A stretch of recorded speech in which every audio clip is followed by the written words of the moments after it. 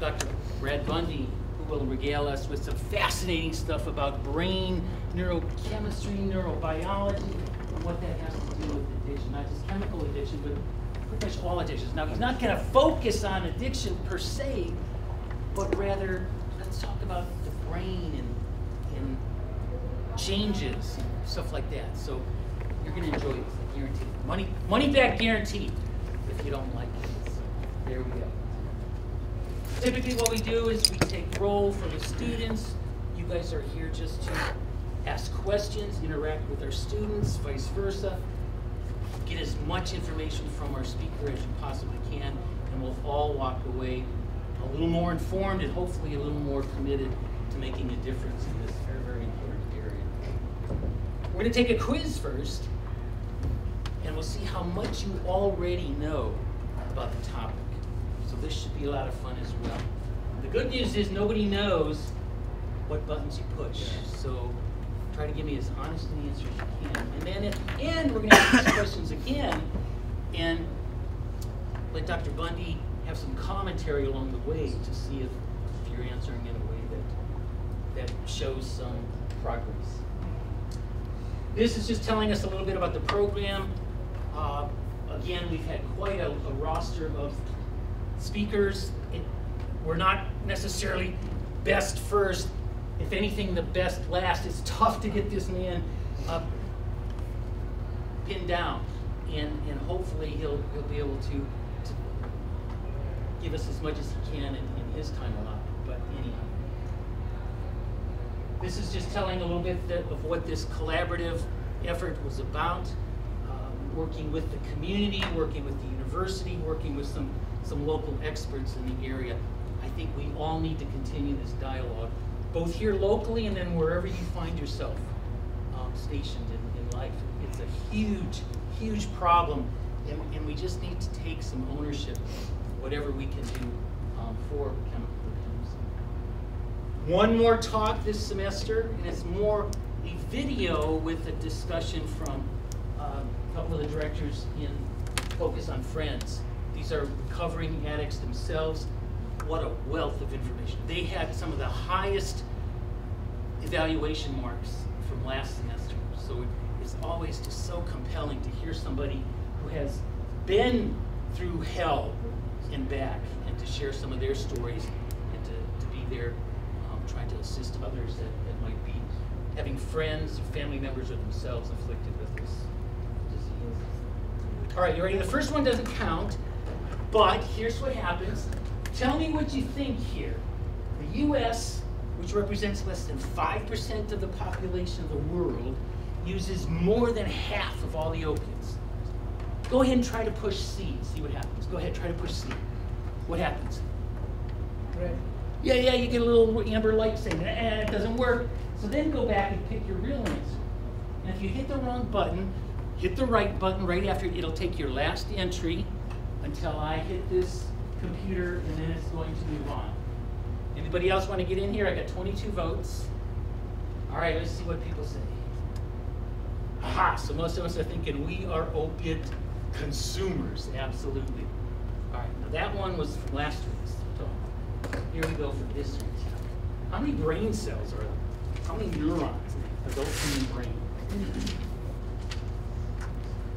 I've met people that I'm sure are less than A, and I've met people that have thought they were more than D. But what do you think the answer is? That's one of those silly questions. Except this, this is a thousand-fold increase for each one, so it kind of gives you a sense we were 23 votes. Let's see. All right, a lot of us think it's 100 billion. We'll see. The area of the brain associated most closely with that dopamine reward is which of those areas? Which of those areas? Dopamine reward.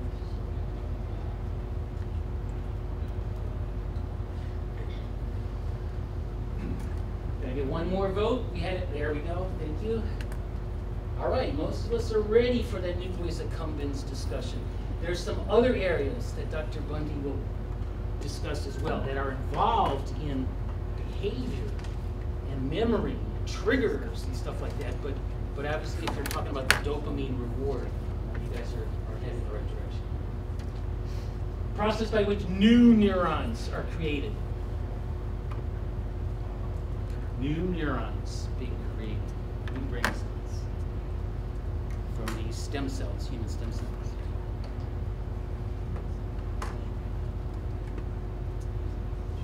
All right, seems to be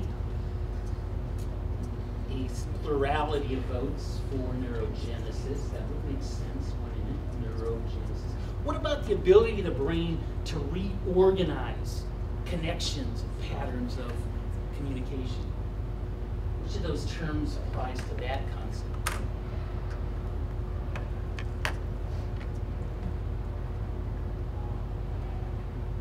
Right. Neuroplasticity. All right. We've got some converts already, so this is all good. Addictive substances can cause physical, what we call organic changes in the brain. Or is it just functional?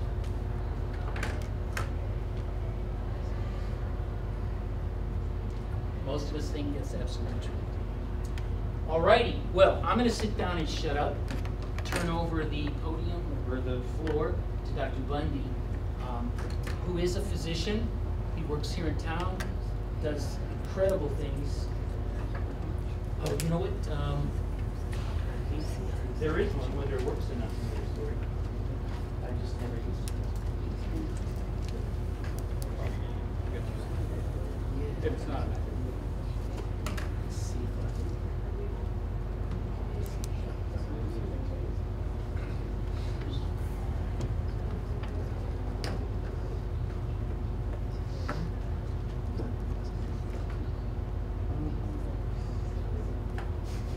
Get a little bit of a sore throat.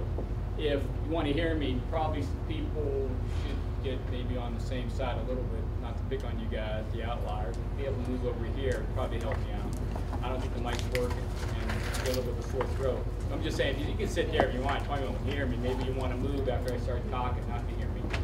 But uh, if you can move over, I'd appreciate it. Do you think, Will? Any chance that, that you know more about this than I do? I take it that most of you are with. with What I don't know is pharmacy if there's a chance. People from the community, right? No, Most I've got, I've got, kind of the- maybe I need to disconnect my, my uh, input. And it looks like I can't The audio anything. input from my You guys laptop. I can plug it back in. on You want me to- uh, okay. test. Um, I'll go back with you. So, hey, I wasn't real sure. I, I, I, I, I'm gonna be talking a lot, kind of off the cuff. I'll be using my, uh, my slides. Uh, Wasn't real sure what you all would want to hear, but I'm gonna go over some stuff. Hopefully, it'll be helpful. And as I go through this, maybe some questions. I'm gonna have to be out of here probably by about quarter after seven, seven thirty. Actually, I got I got a patient up at the hospital at Orchard Hall, the psychiatric unit. That uh, is in there for an opioid opioid problem that I got to see a little bit later. We admit some patients up there. Usually, they're dual diagnosis, uh, substances as well as comorbid psychiatric. I'm going to start off, but I, really want to focus on addictions. That's what most of you want to hear about, correct? A little bit about addictions in the brain. So I'm going to start off with, I'm going to start off with a case study. In, in medicine, we use case studies. It's the presentation of a patient case we've been involved with uh, as a learning tool um, to learn something and maybe change our treatment behavior. Case study in medicine. There's a couple things, a couple learning points I hope you'll get out of this, and I'll go over what those learning points are a little bit later. But let me present the case. Uh, it's a patient I saw was over 15 years ago, and I'm going to break any confidentialities. Uh, the patient was about a 58-year-old male. I saw him in the ICU. I was consulted in the ICU uh, because this patient was psychotic. He was having visual hallucinations. Think Elvis on the wall. Plus, he was agitated and aggressive, pulling out IVs. That bit of information, most of the doctors right away know what this patient's primary problem was alcohol. He was in and going through DTs, delirium tremors. That's what happens with severe alcohol withdrawal. They get psychotic, they get delirious, sometimes they have seizures, sometimes they can die. Uh, what other medical problems does this guy have? Uh, he has cirrhosis of the liver, the alcohol. He had what's called portal hypertension, kind of a buildup of pressure in the liver that resulted in what are called uh, vein varicosities, esophageal vein varicosities, which is a serious problem. So medically, he was kind of a mess. And plus, it was difficult to deal with. It's the type of patient I didn't want to be consulted on. The type of patient that people work in the hospital don't want to deal with. And I'll tell you why. We do. It's because, number one, they are difficult patients to, to help medically. But number two is it's frustrating. It was back then. It's a little bit of a revolving door. They come in, get tuned up, they go back out again and drink, go back in two months later, you go through the whole thing again. Each time it gets a little more difficult. So this guy was kind of a mess medically. And socially, he was even worse. Uh, his wife had left him a while ago, several years ago. Three kids, he wouldn't have contact with him. People with substances, they burn bridges. Um, substances kind of take over in relationships and suffer, and people in relationships with people with substances often pull away. Uh, the only supports he had was people at the bars that drink.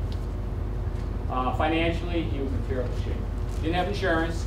Every time he came in the hospital, a huge bill that we, society, had to eat. Kind of a drain on society. He had been involved in, in the legal system, several DUIs. He'd have a blood alcohol level of over 0.3, which he was fine with. I don't know if you guys know blood alcohol level lim limit, the legal limit is 0.8 or 0.08. 0.3, a lot of people, me for example, I'd probably be out for a few days. His tolerance was so high, he was pretty functional, but he was over legal limit, several DUIs, incarcerated several times. Um, what else about him? He had uh, some dementia. There's something called Korsakoff's dementia. When people drink, they get some brain swelling, and when they go through a little bit of withdrawal, and they get demented, so it's hard to talk to. I'm assuming by now people are getting a little bit of opinion in this guy, a little bit of a, I don't know, judgmental opinion, a moral opinion, kind of, a, kind of a bad guy or whatever, kind of a drain on society, just kind of a loser guy making bad choices, right? Um, that, some of that setting in. All right, so before though you finalize your opinion of this guy, let me tell you some more history about this guy. Um, came from a poor family. Oldest of three. His dad, alcoholic. His dad left at an early age, and the only time his dad would come back was to try to get money from the mom and rough up the family a little bit. Until this guy turned about 12, and he fought back. Dad never came back after that. This guy was quite a physical specimen in his day. Actually, um, he was a great athlete. He captain, quarterback of the football team, leading scorer on the basketball team. Great guy. Top of his class. Brilliant. What else? He's raised his siblings. He took care of them. He worked a job part time. His mom wasn't real functional. His mom tried her best, but she also had some substance problems. She ran on that side of the family. Hers was more you know, some stimulants, some pain. But he took care of business. He helped raise his family, helped his mom. Top of his class, star football player, got a full ride to college. And there he excelled too, right? Football team, he uh, fraternity president, married one of the cheerleaders, top of his class, got an MBA. And then from there, he went into the business world and was a superstar. Fortune 500 company, wrote, went up the ranks, high six figures, made a lot of money, but he earned it. He helped this company become very, very productive. Right? Pillar in the community, was involved with Kiwanis, Rotary, a lot of charitable events. Uh, driving force in him that really resulted in all this productive, positive behavior, right? All right, probably get a little bit different opinion of this guy? But he also had another force in him that was driving things. And that other force that was driving things in him uh, started drinking in high school. After football games, everybody go out, let's have some beers, right? College, fraternity, beggars, drink there. Business world, free martini lunch. All right, let's get business done, let's have a few drinks. For a lot of people, they can control. For him, he couldn't. Part of it was genetic risk. 10% of the population have a serious addiction problem, 10%. You think about 10% of the population has a genetic risk. Back to that later. So, as this driving force of alcohol became stronger and stronger, it overtook the productive drive in him to get stuff done. Drinking more and more and more and more DUIs. Everybody tried to help him. He went to the Betty, I don't remember the Betty Ford Center? Went to the Betty Ford Center a couple times, all kind of treatment. Guy to come back to them, to work, to the family. And he wanted, desperately. But he couldn't. And he couldn't because the alcohol. It took away everything from him. He lost his job, he lost his money, he lost his family. Year after I saw this guy, actually I saw him as an outpatient for a while. I, I liked him. Year after I started seeing him, he lost his life. The uh, cirrhosis, the esophageal varices, it at about 58. So how do you make sense of that? How do you understand it? Well, the only way you can understand it is understand a little bit about the brain. So that's what I'm going to talk about. And what I'm definitely going to talk about is a disease model of addiction. First learning point, okay? This is what I want you to pick up from that case study. I'll elaborate on it, is that addictions is a disease. So let me read my first slide. I get to it. So, am I going the wrong way? Yeah, you're going the right way now. Okay. Um, this is what I don't know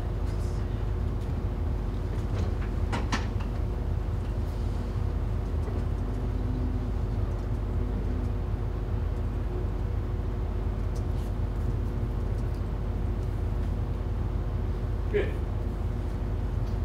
People in behavioral health, neuroscience, we've known for a long time addiction is a illness, a brain illness. All the other medical specialties are starting to understand it too. The New England Journal of Medicine, one of the top in the world, now, recent article, the neurobiologic advances for the brain disease model of addiction. It's a brain illness. So let me go over that to help you understand that. After you understand a little bit about the brain. Beautiful picture, right? That's it's called diffusion tensor, tensor imaging. It shows the white tracks of the brain. You guys know a little bit about. I'll talk about. The brain. Um, this amazing organ in our known universe. Guys, anybody, anybody hear my other lecture? Anybody know whose brain that is? Anybody recognize that brain? You, you were the, in the other one. You know, you know whose brain that is? Anybody know? Recognize that brain? It's not mine. Anybody know? Einstein. Einstein's. Yeah, I- that's Einstein's brain. The brain weighs about three pounds. It's about 2% of our body mass. The brain takes 20% of our blood flow, 20% of our energy. 20% of our food, oxygen goes to our brain, 2%. It is working away. It is the most important organ in our body. It's the most complicated. It's the most demanding. Um, we're learning about the brain because all the scans we're able to do. We're, we have what are called functional imaging of the brain. We can show the brain in action. And as we see the brain work and we can understand what part of the brain maybe is doing what, and that leads us helping understand some of the illnesses of the brain. Um, a little bit more about the brain. The uh, neurons are the main workhorse cell of the brain. Actually, 100 billion neurons. Uh, we lost 15 billion neur- neurons in the last There was someone that came out, they, these all nuclei of neurons, and they, uh, it's closer to 85 billion. Sorry, guys. We only have 85 billion neurons, okay? We can't brag too much to the other mammals. But that's a lot, 85 billion neurons. And if you know anything about the brain, what the brain does, we'll go over a little bit later, it processes information. Um, we have 100 trillion, we think, I don't know who counted those, 100 trillion connections in synapse, 100 trillion of those? I, I throw this into the mix. There's some other cells out there helping out. They're called glial cells. They kind of clean up the messes and keep the, uh, the neurons healthy, but they play a big role. We're learning more about that too. So we'll elaborate on all this stuff. The bottom line, 100 billion neurons, actually 85 billion 100 trillion connections. It's an amazing organ. We'll never fully comprehend our brains. I don't think so. But we're learning more. But if you want to know what our brains do simplistically, I haven't got anybody here the cup to the head thing that already do that? You want to understand what brains do. Here we go. What, this is what brains do. Brains take in information. Part of the information our brain takes in is what's going on outside of us. What we hear, see, feel, taste, smell, we take in through our senses. And part of the information our brain takes in is what's going on with our body. Our heart, our stomach, pain, that flows up to our brain. And what our brain does is take that information, processes that information through 85 billion neurons with 100 trillion connections. You get behaviors out. Information in, behaviors out. That's what our brains do, okay? So the example I use, did I ever use this with you guys? I'm not throwing. So you guys heard this? You guys heard, heard the cup at the head thing? Half, half of the room probably. I'm gonna go over this again. I'll go through it quickly. Okay, but if you haven't heard it, okay. So if I took uh, this pointer and threw it at you, all right, what would happen is your eye, the retinal cells in the back of your eye, so those receptors back there, they would sense the wavelengths of this pointer coming at. They convert that information into electrical data impulses that go into your brain. There's a point to this, you did very Anybody, anybody ever see, you guys seen Inside Out, the movie Inside Out, the animated Inside Out? Never seen that, a great movie, you can't see, you can't see Inside Out.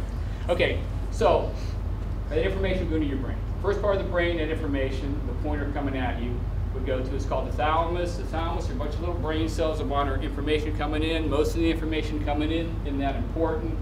I don't know, the lights shine and maybe somebody moving over there. But every once in a while some information comes in that's deemed important because little brain cells are hooked up with memory bank circuitry. That's more parietal lobe, neocortex. Those little brain cells remember things hitting your head hurts. Man, that's important information. They put an alarm out. That information is going to other parts of the brain part of the brain that goes to is little brain cells, little neurons. They're involved with decisions, motivation to engage in behavior. We think that's kind of flowing through a part of the brain called the anterior cingulate gyrus. Those little brain cells get information, this pointer's coming at you, and they'd be sitting there and you're thinking, uh, you know, talking to each other, pointer's coming, yeah, should we do something? Yeah, we, we, probably should do something, and you know, may hurt it. What are we going to do? I don't know what we're going to do. We scream, we're going to cry. What are we going to do? What are we going to little brain cells up in the memory bank circuitry are yelling at these guys saying, hey, we know what you do. You, you bought the cup of work before, guys. Come on, I need to buy. They're like, oh, yeah, we bought it. That makes sense. That information is going elsewhere. It goes to little brain cells to get our body ready to engage in behavior. Get our muscles tense, our heart beating faster, because it's going, that information. Little brain cells that engineer muscular movement. When I scratch my head, the engineering muscles in my arm, my forearm, my finger, to get my finger here, not here, here, with this touch, like that touch so gas are working the neurons, got to do this, got to do all this right? And while that's happening, the pointer's still coming in, right? Right? And those little brain cells in the thalamus monitoring the, the pointer coming at you, there's a new guy on the job, and he's running around screaming, oh no, oh no, the pointer's coming, what are you gonna do, what are you gonna do? And there's an old pro on the job sitting up there, relax. All these other circuits and channels got it covered the right moment the button's pushed, hopefully you block the pointer, right? Let's see if you do block the pointer, right? Okay? Now, the reason I go through that, two amazing important things. Number one, all that information processing, literally billions of neurons, trillions of connections working. I, I doesn't even get their message, I didn't even come close to all the activity going on. All that information processing and behavior, behavior out happens like that, right? That's me. But here's the important part, all right? All that processing and all that behavior out happens unconscious. You wouldn't consciously drive anything. You wouldn't sit there and say, oh, you heard me, uh, what am I going to do? I'm going to fly. I'm stuck with it. Then move this hand, do it now. It's going to all happen. Information in, behaviors out. That's what brains do throughout the day. And the vast majority, not all the behaviors we engage in, are unconsciously driven. Conscious when, I, when we walk, when we drive a car. Me talking here, I'm not really consciously stringing each word together. I couldn't get anything out. Parts of my brain know what I'm trying to get out, formulate the words in the order they're supposed to be, move my lips. It's all consciously driven. So conscious awareness, what's it do? When we think about conscious awareness, we think about willpower, right? And all the moral, judgmental things. Conscious awareness, what's it do? What kind of can do some stuff and tweak things, but actually what conscious awareness does is makes us miserable. We just focus on negative stuff, fears, anxieties, whatever. see going through that. These circuits and channels, like conscious circuits and channels, kind of run the show. And when we put a judgmental component on people, you don't have a willpower. And I'll tell you, I'll maybe point out where willpower comes from. Thing. Uh, that's not reality.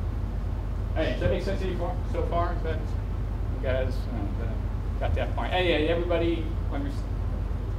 So, One of the, yeah, one of the buttons at the, there we go. okay, so here is, here's our brain. And here is kind of the most powerful circuit channel and conscious circuit in our brain. It's called the seeking reward circuit. All right, got all these circuits. Seeking reward circuit. That's the one that gets involved with addictions. So let me explain the seeking reward circuit. Remember what our brains do is information and behaviors out. If you really want to know what brains do, all brains, including ours, what brains do is try to get food and not people. Survive. Everything our brain does is geared for survival. Survival of ourselves, survival of other life forms that are important to us, be it family, friends, whatever. And again, conscious circuit. So this circuit, the seeking reward circuit, and I'll go a little more in depth into it. Um, that circuit seeks things out in our environment that our brain, kind of unconsciously, thinks helps our survival. And when it gets something that it thinks helps our survival, it gives our brain, another part of our brain, a little reward, so we'll keep doing it. All right? Reinforcement, right? Seeking reward circuit. So what triggers this circuit? Well, that's good for survival. Food, especially sugar. I mean, I got a whole, I could talk an hour about food and sugar. I'm going to war against sugar. It's addictive. Um, what else triggers this circuit? Social connection. Interacting with somebody socially productively. We are a social creature. When we connect socially with people, our survival chances go up. So social connection triggers. What else triggers it? Mm, probably sex a little bit. Again, that's breeding, that's survival. What else triggers this circuit? A lot of times knowledge does. Knowledge, you get knowledge, survival chances might go up. You learn how to make a fire. Learn how to do that. What else triggers this circuit? Activates it? Substance of addiction. Alcohol, stimulants, cocaine, painkillers, heroin. I'm trying to think, why would that trigger this circuit? Well, think about it. When somebody drinks, a lot of times people get anxious, they're in social settings, I don't want to go, I'm so anxious, they're distracted. They can drink, oh, calm down. And when they calm down, they can interact a little bit better with people, right? So the brain says, it must be good for us. Gives itself a little reward, right? Um, pain pills. You're in pain, that distracts you. Anything that takes us out of the moment diminishes our survival chance. If we're out of the moment, if we're thinking about something in the past, if you're distracted, we don't maybe see predator prey. So pain pills, you miss pain? Well, that's probably a good thing. Gives yourself a little reward. All right? Now the problem with substance abuse though, ah, they hijack the system. They take it over. And let me explain a little bit about some of the dynamics in the system, but they take it over where nothing else that used to work is powerful enough to activate the circuit. And this circuit needs to be activated. It needs, in a way, to get this reward. The substance addiction take it over. But that's the only thing that matters. Let me, I'll try to go over some of the dynamics, if this makes sense to you. Um, let's see the pointer. Oh, what did I do wrong? Which one's the pointer? Oh, I have that down, no wonder. I was Okay. looking backwards. Looking at pointers. Okay, so let me go over a little bit about this. Okay, so right down here, if you want to get a little neuroscience, this is a brainstem down here, and I'll talk more about the brainstem a little bit later. Um, this is where a neurotransmitter, a messenger between brain cells, will send a message back and forth called dopamine. Ventral tegmental area is part of the substantia nigra. We got a name for all these parts of the brain. That's where the kind of the messenger called dopamine is kind of made, and then it extends through neurons up to different parts of the brain. Now this part of the brain right here, the nucleus accumbens, you guys are right about that. That's kind of where the reward happens. All right, it's part of the limbic system, or basal ganglion. That's where the reward gets activated.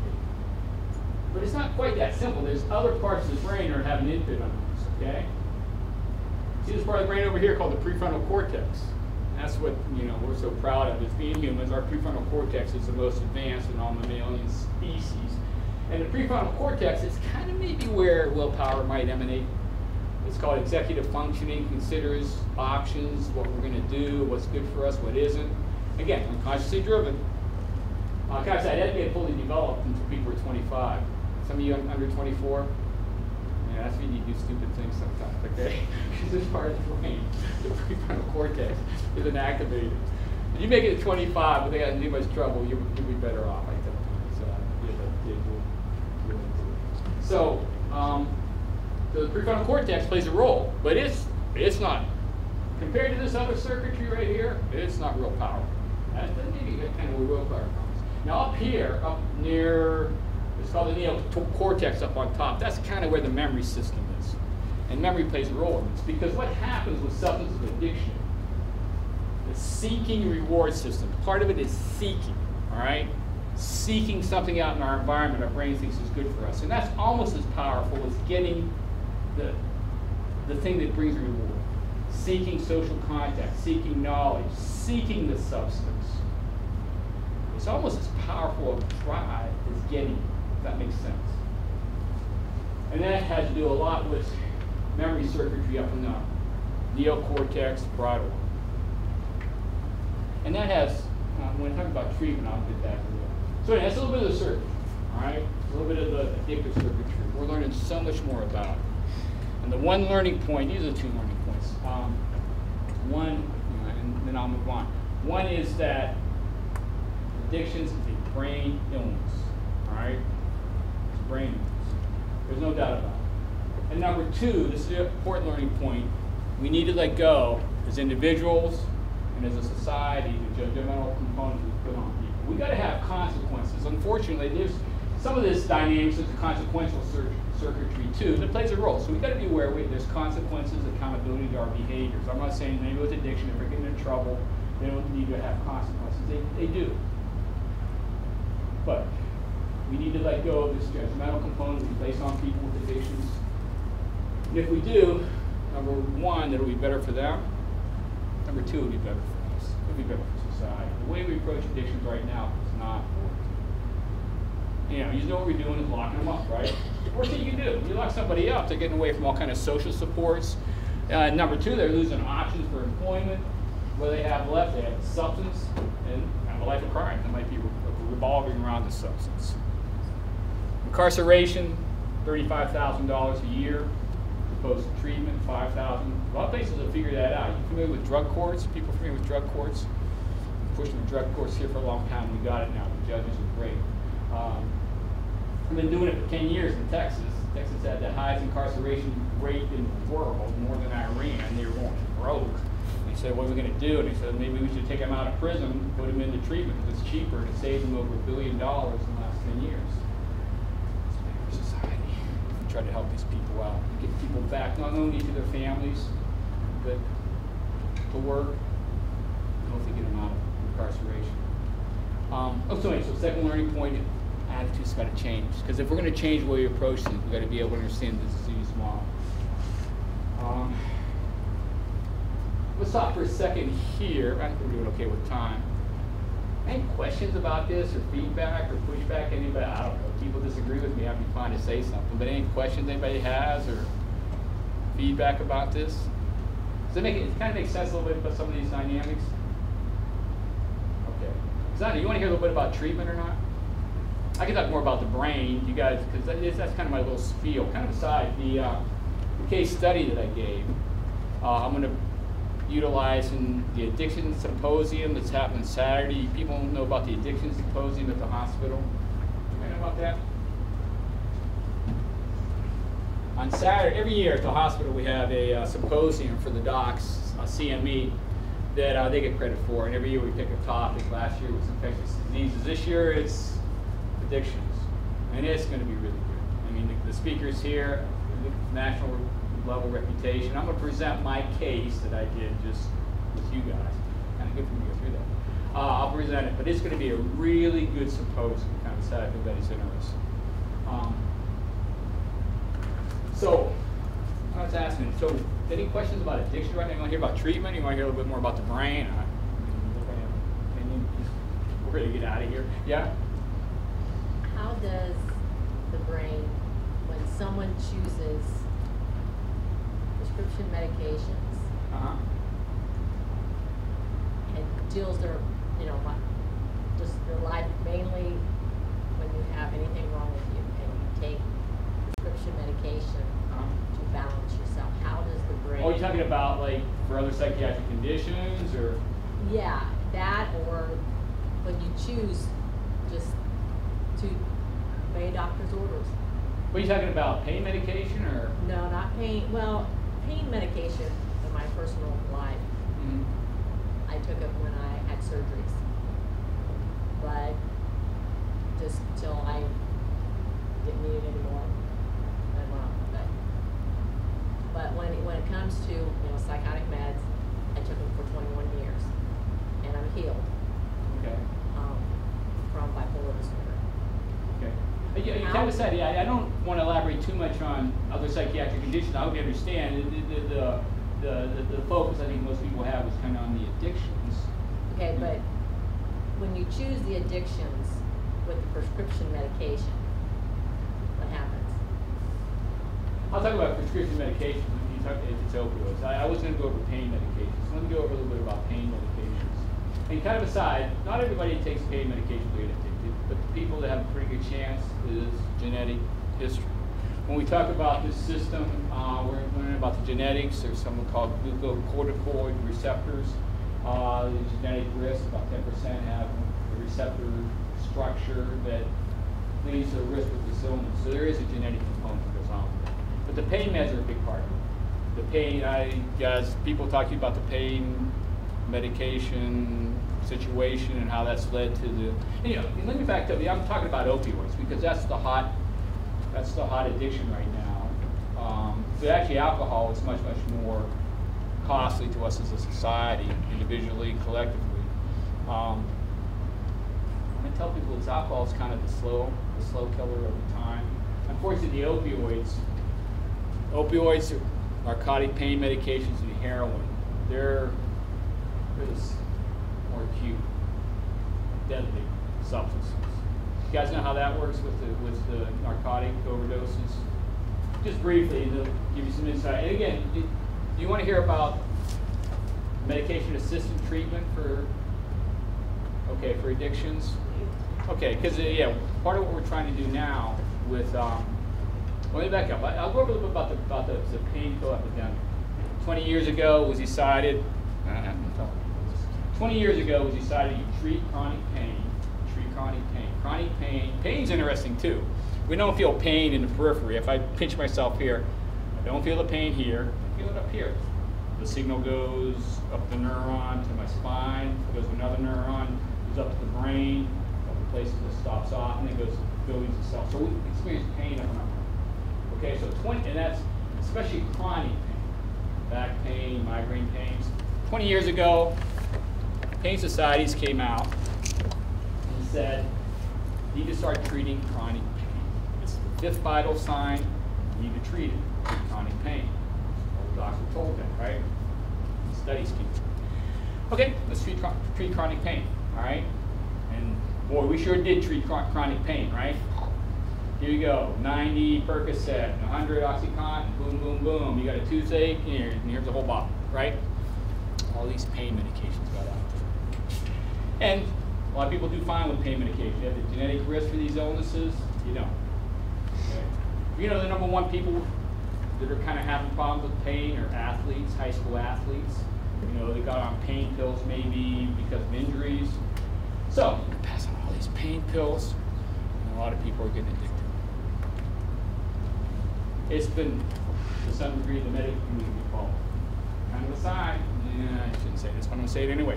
Uh, 20 years ago, when all this information came out, uh, they looked back. Because now they're saying the last two or three years, and now we're starting to say, don't treat chronic pain. Don't give so many pain medications. Chronic pain gets worse, actually. That's it. But anyway, 20 years ago, the studies they drilled back was funded by, studies were funded by, pardon? Pharmaceutical industry, $20 billion a year industry, $20 billion a year industry. Uh, and they're starting to look back at some of the studies. And they're saying, yeah, you guys, you, I, we need pharmacies' help. You got, you got to help us drill down on what are good studies and aren't. Um, yeah. And so, whoops, we made a mistake, right? And we're trying to rectify it. But for some people, it's been too late. So, what, what can we do to help people out with, with these illnesses? There's a lot of things we can do to help out. Um, part of it's medication assistance. Maybe I'll talk about that first, medication assistance. And I'll talk about the opioids since that's kind of the, the, the big one right now, rightfully so. So you guys understand much about medication assistance or not? There's two main, it's, it's giving people medication to try to treat the illness. And for medication assistance for opioids, there's two main groups. And two approaches. One is using what's called an agonist. An agonist medication for opioids is basically giving the person the opioid. It's methadone or Suboxone. Is anybody you guys familiar with methadone and Suboxone? They're opioids. What they do is, remember I talked about the circuitry, right? And I didn't elaborate. One of the things that happens, it, it's the reason the addictive substance takes over. The circuitry, some of the neurons, it's called down regulation. It's almost the neurons, especially the ones in this ventral tegmental area that goes up, the dopamine release up here, when it's getting stimulated too much, too much of a good thing, the brain says, we gotta slow this down. And so the system adjusts kind of mechanically. The receptors, you understand, and you know, neurotransmitters, the way brain cells work, there's a gap between when a message comes down one brain cell, when it reaches a gap, it releases these biochemical pellets called neurotransmitters. Dopamine is one of them. They go across the gap and they hit receptor sites on the next cell. When enough receptor sites are activated, boom, the message goes on, right? That's how it works. So when you get too much of the addictive substance and too much of this neurotransmitter going on, this is it. We got to change and we're going to down regulate. We're going to reduce, and it's mechanical. It's all, won't be able to get into neuroplasticity, neurogenesis, but uh, not too many receptors. We got to reduce receptors, all right? So we're not getting triggered so much. When the receptors get reduced, definitely the other stuff that used to trigger this system, social contact, food, learning, doesn't trigger it, doesn't go. The only thing that triggers is substance abuse. When people go through an addiction and you get off the medication, there's two things that can happen.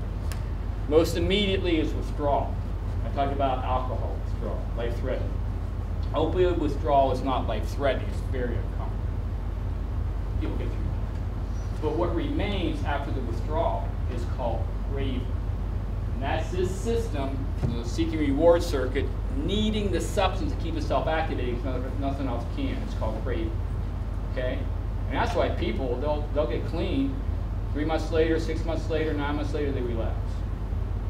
Okay? Because this system's been damaged. And remember the genetic component. For some people, this system is downregulated to begin with. And, and that's the reason they fall into it pretty easy. So that's called craving. All right? Yeah. Um, I was curious if you knew the difference between the um, brain withdrawing from an addictive substance and the brain withdrawing from like what patients who get serotonin. From what? With, for patients who get serotonin syndrome. Serotonin syndrome. Serotonin syndrome is too much. That's, that's not addiction. That's not. That's not. I just wondered if it was like if there was a similar. It's not. What, what, again, to go back to when we talk about withdrawal, alcohol, opioid withdrawal, that's a whole body phenomenon.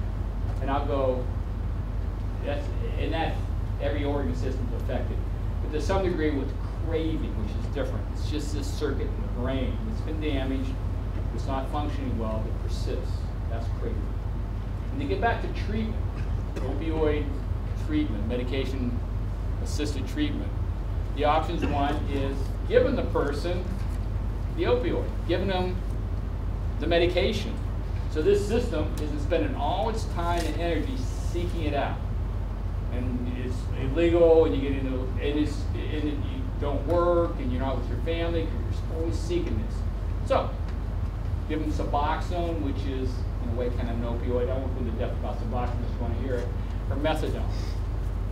They get, they get, the, they get the, the system satisfied. They don't have to spend all their time seeking out the, the, the drug. Get back, get back to their family, get back to their work, get back to hopefully being productive for society. That's an agonist, Suboxone and methadone. And some people need to be on it for a couple years. People need more, depending on what their genetic component is, risk. All right, so that's Suboxone methadone. You guys got that? Now, the other thing that's being used,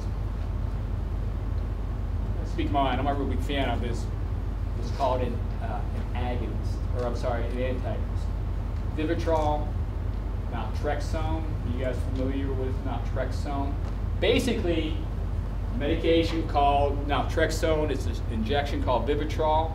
It's a medication that just kind of blocks the system, so nothing gets through. So people get on Vivitrol and they take pain pill heroin, can't get through. There's no no response. For some people that might work. They have a really diseased brain. Uh, yeah, it's called a disease, but it is genetic or whatever. Um, just stayed away from the substance. Highly motivated. They have other options to satisfy this system. A lot of social support for a lot of people. There's a lot of controversy about that right now, so I'll throw it out there. Um, but those are the two medications, right? And then the other thing that helps helps these people is support. You know, support from others. It triggers the system. That's why AA and NA kind of works well too. But again,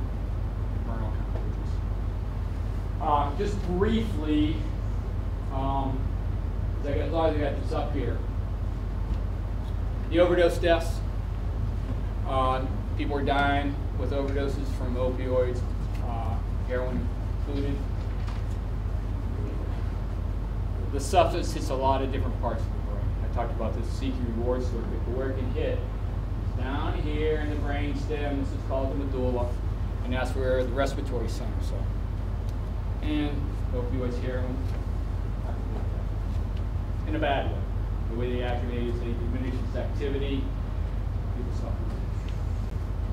And the reason people were, were overdosing is they get off the medication for it. All right, they go through some treatment, three months, six months, and this craving's still there.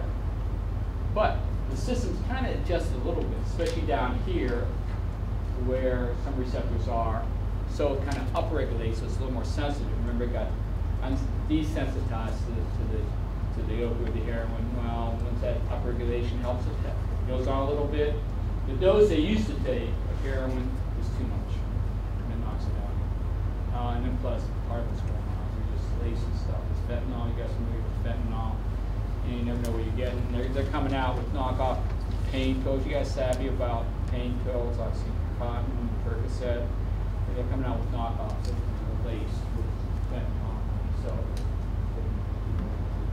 Okay, but anyway, that's a little bit about a medication assistance. Uh, what else? Any questions about the, yeah?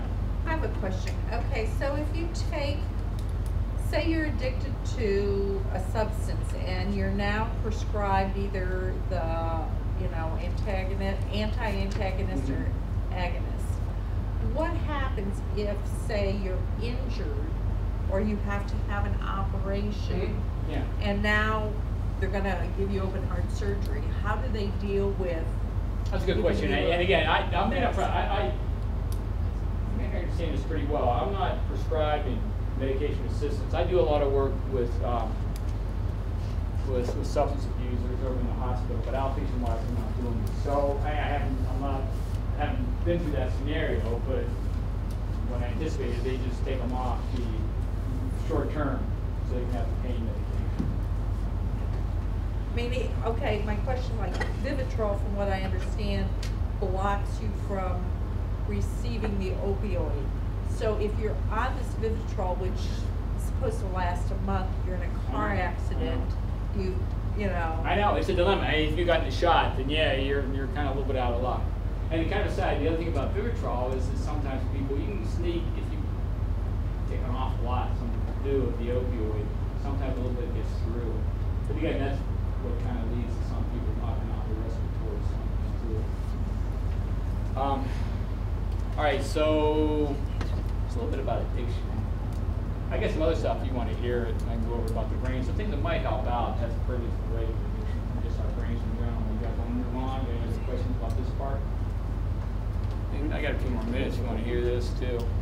When you have somebody that comes in um, withdrawing, do you, are you prescribing them inpatient for withdrawal symptoms? What we do, no, well, for again, withdrawal is different. It's, it's, it's, you know, the autonomic system is overreactivated, blood pressure the direction. Let's talk about opioids, right? Yeah, and so, and there's muscle cramping, your, there's, there's receptors on our stomach. So I, we give them supportive stuff for like, like nausea, muscle cramping, and maybe some of the pain that's associated with it. Not pain, we're not doing Suboxone the hospital. Okay, some places. And if they want to go through withdrawal, we take them to withdrawal. They're miserable for two, three days and come out, but they're okay. Uh, but then we talk about whether or not to go on with medication assistance. Okay, so is that enough about addictions? Okay, I can go over a couple other things. So we got a few minutes if you want to hear. But again, it, it kind of tie in a little bit with addiction. Some other things we do to help. So let me talk a little bit more about the brain. I thought you might find this interesting. I guess it's right. Uh, neuroplasticity. Uh, our brain. Okay, here we go. If you want to keep. When I talk with people, uh, I most of what I do is psychiatric illnesses, depression, uh, schizophrenia, obsessive compulsive disorder. Part of what I do is treat with medication, but I really encourage people to do everything they can to keep their brain healthy. This particularly pertains to uh, people with addiction. So gonna go a little bit about keeping brain healthy. All right, and all of us can benefit. So I'll go through this. Um, our brain can grow and regrow. One place our brain can grow is at the synapse, right? The connections. Uh, it's amazing all the stuff that goes on, receptors and dendrites and growth and, and transcription and cellular mechanisms. It's really, but we can grow new connections between these 100 billion, 85 billion, and trillion connections. We just got to establish new ones. That's what we do when we learn. We get new connections, right? So this growth, the synapse is called neuroplasticity. Tremendously important for the health of our brain. All right. So grow at the synapse, neuroplasticity. Got that? Okay. Um, oops. See with your tongue. Okay. You guys know that? You see with your tongue? Everybody close your eyes and stick out your tongue. That made you see. You want to know about seeing with your tongue? I have to find it. The uh, seeing with your tongue. Uh, it- I, this is neuroplasticity. People that lose, remember, information in, behaviors out. Okay, we don't see with our eyes. Our eyes takes in the information, it sends it all over the place, moves back to the occipital cortex, and we make a picture from that information. Okay, so it's the information coming in. Our brain makes a picture. People can't see. What they've done is they put little sensors on up here that can see movement and stuff, and it sends that information down to your tongue. On your tongue, you have touch receptors. And those touch receptors uh, from the trigeminal nerve and um, a little bit from the hypoglossal nerve, they take that information into the brain. And what the brain can do when it gets that information from that stimulation of the touch fibers in your tongue, somehow they route it to the part of the brain, the occipital cortex, that makes a picture out. All right? Course, seeing through this. But the point is, is information, and that's neuroplasticity. That's your brain kind of establishing new connections uh, to be productive. So anyway, that's the example. Does that make any sense? All right. Now, the other thing, and, and we're using, we're using this idea with strokes. In the, in the past, again, developing new connections. In the past, people have a stroke, they knock out, you know, maybe their left arm. What you tell them is, okay, forget your left arm. Learn how to do everything with your right. Okay, what may be better, so you use your right arm, maybe your left, right? Well, we can establish new connections in the damaged areas for this neuroplasticity. So we're trying to utilize this concept of neuroplasticity uh, as a way to deal with stroke. and so forth, too. So I'm gonna about that. Now the other, this is the other part. Again, you want to keep your brains healthy, right? Um, neurogenesis. We can pump out new neurons. You used to think you were born with all the neurons you'd have, depending on how many times you hit your head or whatever you do some. We can generate new neurons. Stem cell neurons, you know, big boy, big girl neurons. And where they get plugged in, these new neurons, it's called neurogenesis, is a part of the brain called the hippocampus. And the hippocampus is involved with kind of formulate and store memories, important for learning. So we get growth here.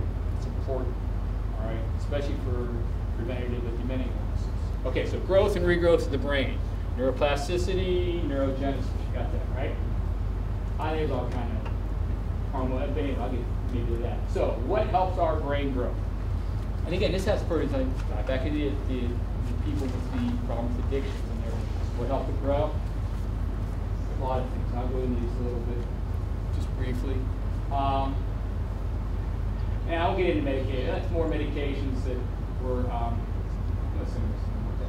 um, omega 3s I push, or something called SAMe for me, or SAMe, that may help. Everybody's always asking me about over the counter stuff. Uh, nootropics, if you're familiar with that term, what works with that, there's some information there. Actually, opioids, pain pills help out for treatment resistant depression. Hallucinogens, hallucinogens are being used in therapeutic settings for a lot of things. So you guys are familiar with that. But I'm not going to elaborate on those. Probably controversy. We're starting to use neurostimulation. You guys familiar with neurostimulation?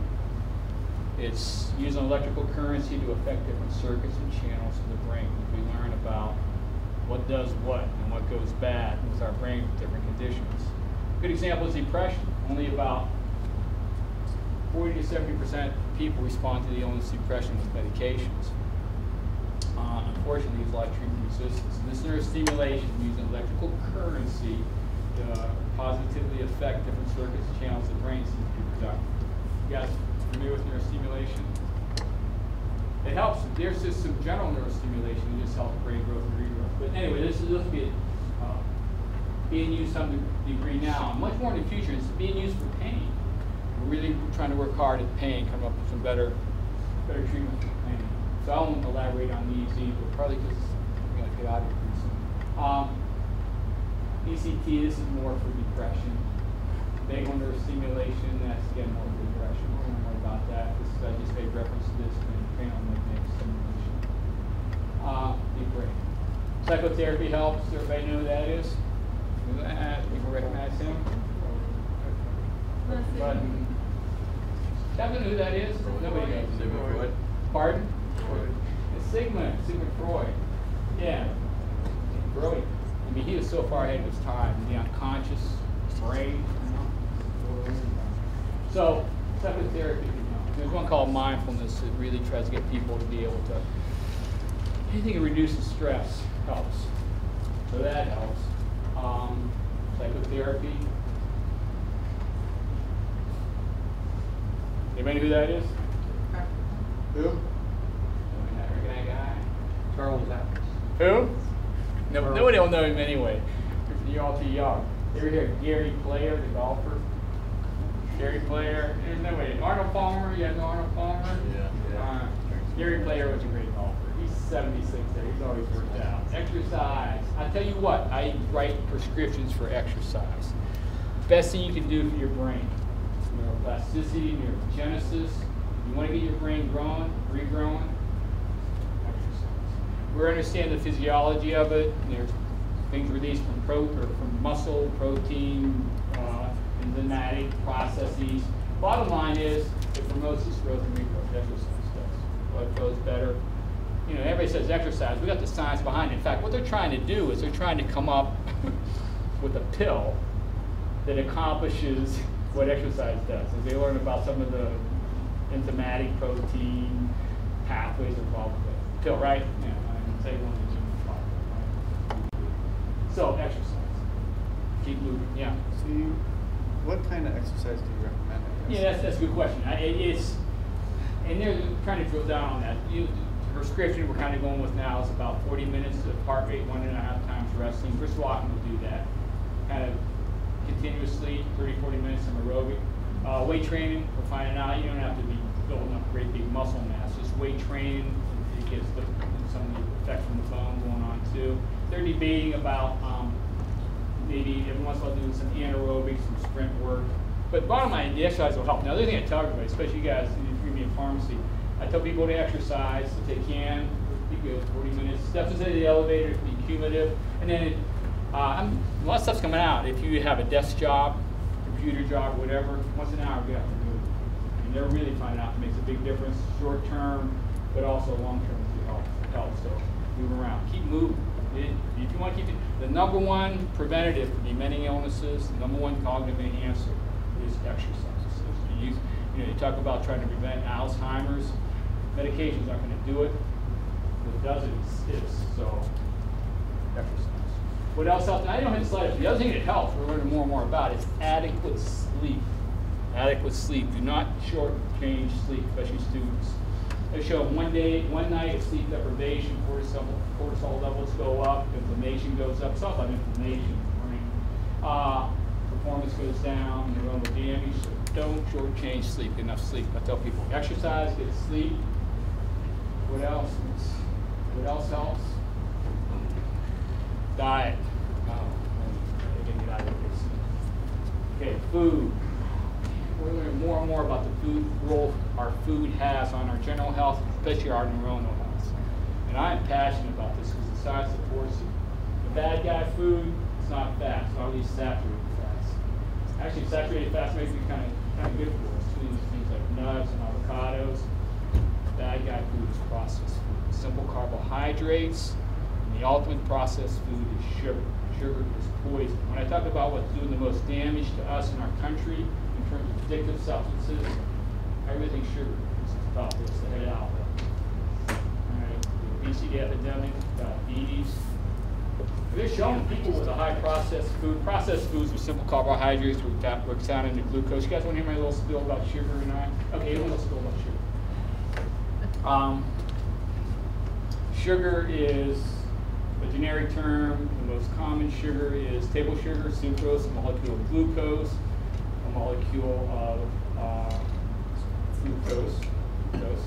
All right, glucose is the energy source of our cell. Our cells need glucose, right? Then a flood of glucose all at once into our system.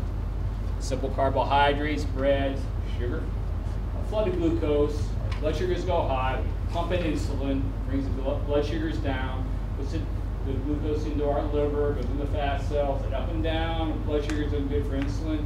Uh, insulin resistance might develop, and resistance leads to inflammation. Everything about our neuronal health flows around inflammation, inflammatory processes. All right? So glucose is good, but not a flood at once. Sugar, simple carbohydrates. Now fructose is the other, the other simple sugar. That's even worse for us. Goes straight to the liver, then go to our cells. Fructose, remember sugar is addictive. Fructose is the most addictive there. And also it blocks a hormone called leptin. You guys familiar with leptin? It's something fat cells release tell our brain, the hypothalamus part of our brain, we're full, we got enough food, shut it down. Leptin gets blocked by insulin resistance, inflammation. Plays a huge role in it, right? Um, it's addictive, blocks leptin, of resistance. It really is. I mean, I, science is coming out of this, okay? And so, and this is what I tell people, nothing else. Get a mad. The, uh, and now shut up. Uh, if you ever look at the food label, on the back of the food label, like a granola bar, it'll tell you how many grams of fat, carbs, uh, sugar, fiber, and if fiber is a good guy. Get all the fiber you can, with the sugar. Uh, many grams of fat, 15 grams, you're saying your daily recommended amount, to sugar. At 90 grams, they won't tell you the daily recommended amount. They don't want you to know. Daily recommended amount of sugar, World Health Organization a year ago, 25 grams. 25 grams of sugar, 10, 12 ounces of regular Coke. 10 to 12 ounces, okay? you get 10 to 12 ounces of regular Coke. And people say, I'm drinking soft drink, or I'm drinking fruit juice, 100% orange juice, just like okay? You can get away processed foods and sugar, it makes a difference, not only with weight, so many other too. So, anyway, that's, that's my little passion right now, is trying to get our food supply changed. So, diet. Diet makes a big role your brain health, okay? What else helps? Everybody likes this the next one. Oh, wait. Yeah, I think it helps, and this is what I'm pushing, especially with, well, everybody, but people with addictions. That therapy, all right? 78 million, 60% of our household have pets. It's probably up around 60 billion a year we pay. we spend on our pets. It's not because we're being good to animals. We eat the animals, right? We're doing it because the animals are good for us. The way pet therapy works is there's a hormone called oxytocin. Oxytocin is one of the hot hormones right now, released by our hypothalamus. It's a connection hormone. When we release oxytocin into our brains, it kind of diminishes fear and anxiety. When we're less fearful and anxious, which down, just feel better. Promotes trust and collaboration. We trust and collaborate. We're social. We get along better with people. So oxytocin is important for our brains. What promotes the release of oxytocin? Connection with the visual, touch, verbal. Animals. Number one, they have all the emotional circuitry we do. We're pretty chauvinistic species. We think we're the only ones that have emotions. Dogs wave their tail, they get a treat. They have emotional circuitry. When they connect with us, it's not for.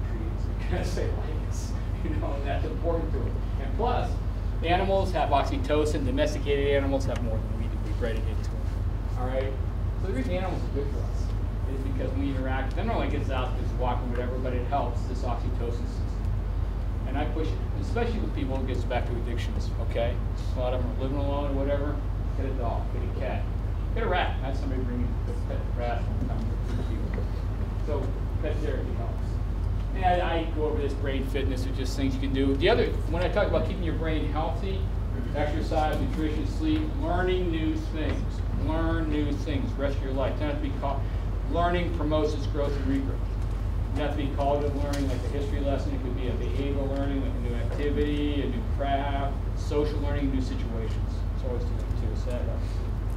And the last thing is, oh yeah, meditation. Anybody know who that guy is? Mm-hmm. Last little quiz. Anybody recognize him in the red? Dalai Lama. My hero, Dalai Lama. He's an amazing guy. He's got a great brain. Every year, the Dalai Lama meets with the top neuroscientists in the world. I know who these guys are. I read up on them, read their stuff. The top neuroscientists.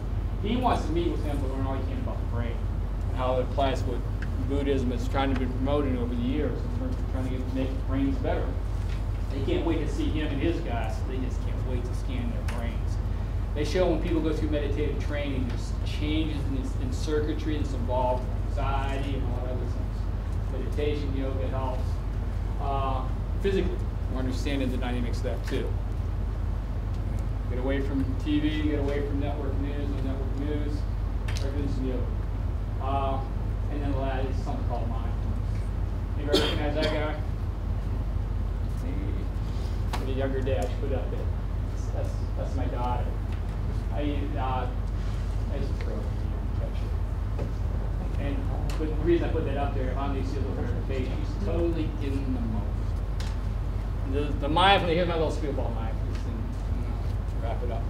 Uh, people familiar with mindfulness? Mindfulness, okay, mindfulness is a hot, hot topic in, in uh, health. My spin on mindfulness, here we go. Mindfulness, the most important part of mindfulness is understanding the moment. All we have, all we've got, is the moment, right? Pass over and done with, the future doesn't exist. Future five seconds from now, let alone five minutes, five years from now. All we have is the moment, right? So often this. Because we're so caught up with negative thinking. Fears, and anxieties, regrets, and con- remember conscious awareness, here comes conscious awareness. When we consciously focus on all this negative stuff, fears, anxieties, whatever, we miss the moment. We can't embrace it, we can't enjoy it. Most important, we can't function at our best. Y'all can relate to that, right? Missing the moment? We all in the moment all the time. We all miss the moment all the time. It's the curse of our species. Like every other life form's in the moment. Dogs get envious five seconds ago, five seconds from now.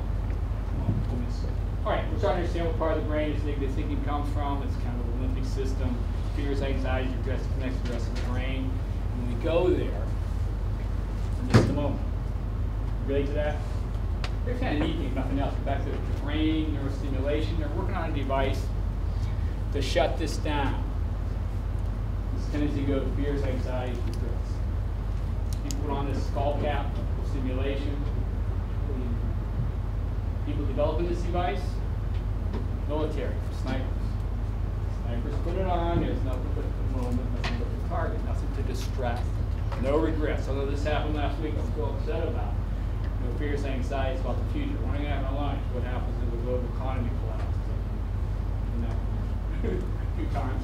Um, it's kind of being in the zone in sports. Can you guys recognize or kind of relate to that? Being, you know, nothing sports, nothing at the moment. Okay, it's great. We don't get enough of it. We aren't seeing the circuitry with that. So conscious awareness. What conscious awareness does is kind of goes to that. There's when conscious awareness has something to get its attention outside of us, something engaging.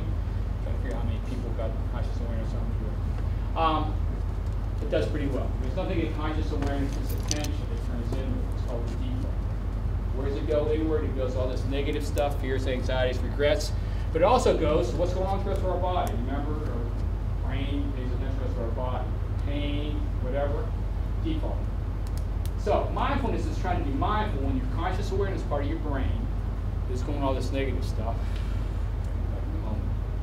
It's almost like conscious awareness being aware of what conscious awareness is doing. Does that make any sense? That's where meditation comes out. So mindfulness is a good way to go. There's so many problems. Especially, just kind of wrapping up with uh. Right, so that's kind of my, I wouldn't anticipate that I'd be talking more than a half hour when you spoke about this. So, I'm kind of done. Anybody have any other questions things they want to ask or? Okay, great. So uh, two. thi- Okay, again, I'm gonna take home points. Okay, I can't emphasize enough. Disease model addictions. Try to understand that, and then try to, if you understand that, try to ch- change attitudes towards people with, with. They need our help. Try to keep your own brains healthy and try to help other people keep their brains healthy. All right, I it. All right? will you join me in thanking Dr. Bundy?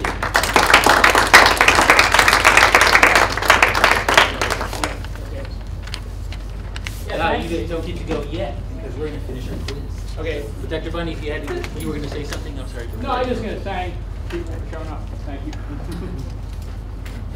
Uh, no, bring it with me. Yeah.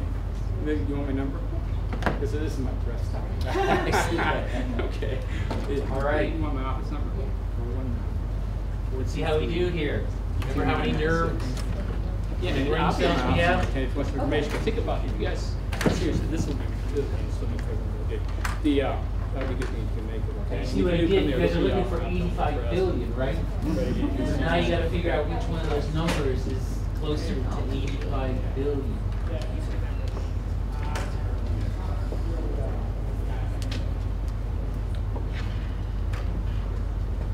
All right, check that out. Everyone is right on, yes. Dopamine reward.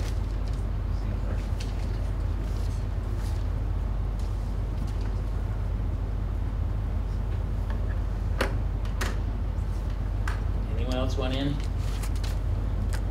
Sixteen's all I'm gonna get? All right. Ooh, back to back, hundred percent.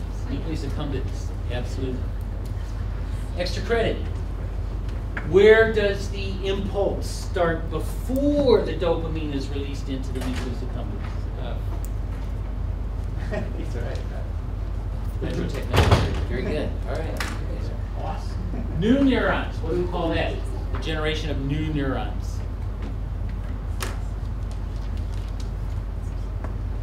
Are you guys gonna set a record tonight? We have never had hundred percent all the way through. Are you guys gonna get it tonight? Is this the night? All right, let's see. Here goes. Oh, we lost one. Neurogenesis, the beginning of new neurons. But that's pretty good though, eighty-nine percent, that's almost an A anyhow. So, all right, here we go. Reorganizing the dendritic sprouts and making new connections and reinforcing certain pathways. What do we call that?